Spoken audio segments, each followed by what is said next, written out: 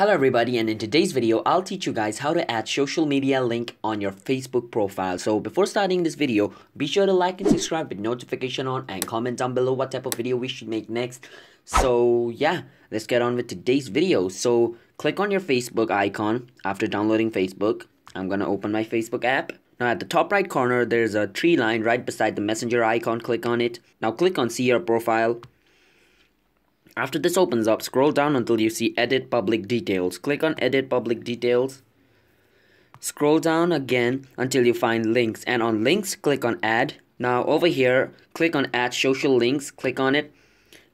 And as you guys can see on Instagram there's an arrow beside it. Click on the arrow and click on whichever social media's link you want to add. So I'm going to add my YouTube. So I'm going to click on YouTube. And I'm going to type my YouTube name and account name. So let me type it. And then click on save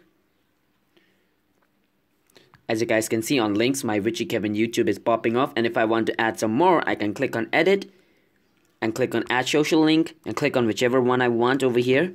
So, and write the account name as well. And if I want to delete it, I can just click on the cross mark. So that's how you add social media link on your Facebook profile. So if you guys found this video helpful, then be sure to like and subscribe with notification on and comment down below what type of video we should make next. I'm signing out. Have a nice day everybody. Peace out.